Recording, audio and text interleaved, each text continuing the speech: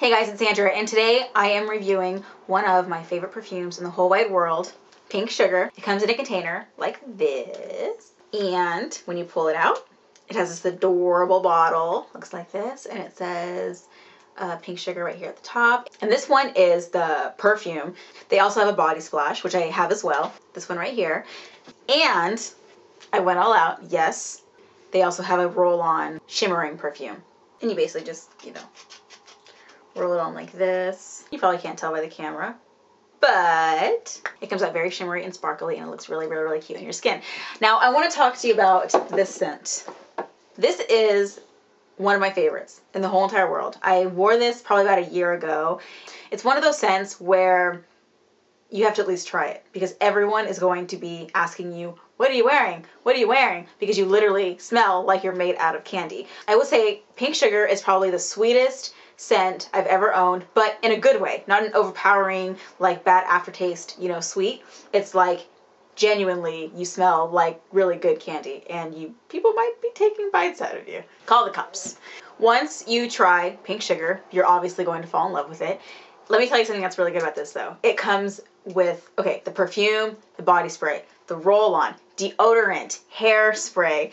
You if you want, you can smell like pink sugar from head to toe because they allow you to, to do that with all the products that they have. They have body butter, lotion, shower gel. It's not too expensive. It's like I think 30 bucks for the size that I got right here, which is the one ounce.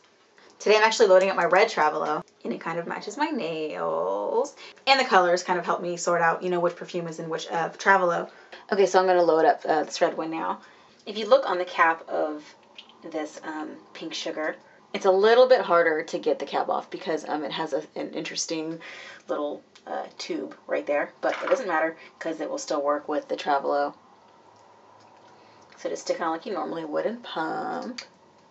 Okay, so now I have my pink sugar perfume all loaded in my red Travalo, but I'm gonna go ahead and actually load a second one for the body spritzer.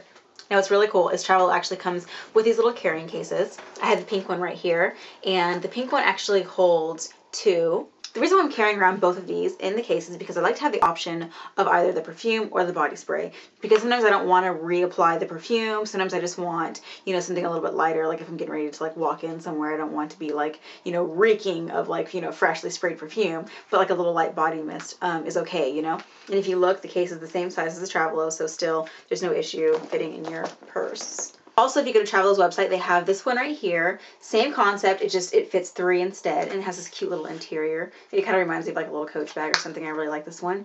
This is the one I used in Vegas because they wouldn't let me bring any of the bottles with me on the plane, naturally. Okay, so Pink Sugar is the scent of today. Thank you guys so much for watching this uh, video review, and check back next time. Don't forget to subscribe. This way it just pops up in your subscription box whenever I do a new review. And also check out their website, www.travalo.com, if you want to check out the Travalo or the cases. Okay, I'll see you guys next time. Bye.